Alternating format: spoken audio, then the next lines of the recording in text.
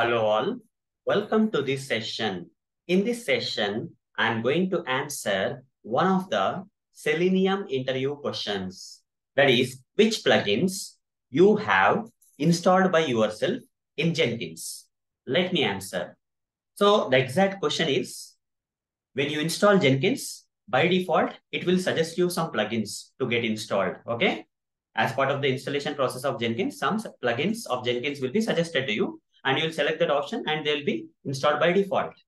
But apart from those, okay, apart from those default installed plugins of Jenkins during installation, are there any other plugins you have installed explicitly by yourself? Is the question. The answer is, in my case, I have installed these two plugins. Okay, in your case, it may be other plugins, but in my case, I have I remember that I have installed a Maven integrations plugin, and I also remember that I have installed TestNG results plugin in my case, apart from the default uh, plugin suggested by Jenkins. Okay, let me practically show you how to install these plugins by yourself in Jenkins.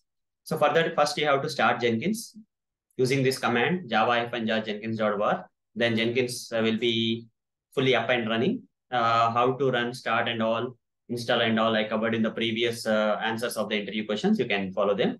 And uh, after that, when you say localhost 8080, because Jenkins by default runs on 8080 port number in your uh, machine, Localhost means your IP address automatically. And once you log in, you'll be taken to the dashboard of Jenkins. And when you say create a job, here I'm getting freestyle project. But if I want to get the Maven project, I want to create a job with the help of Maven project, it is not possible. By default, it is not there. In Jenkins, it's not coming by default with the default suggested plugins.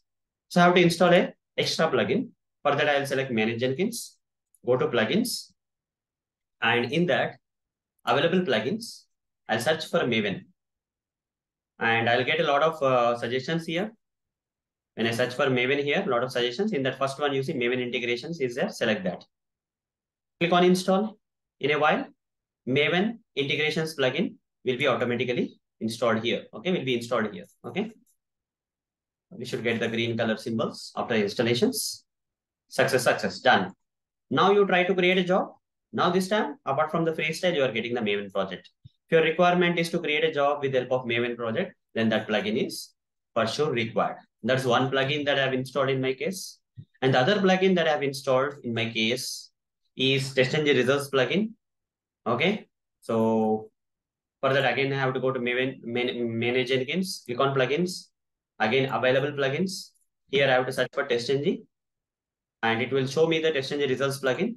So this will, if, if after creating a job uh, and when you run the job, if you want to generate the TestNG results report, okay, after running the job, if you want to generate a TestNG results report in your, uh, as a result of the Jenkins job running, then this plugin is required. Click on install. So similar to how Maven integrations plugin got installed, TestNG results plugin also got installed. Okay.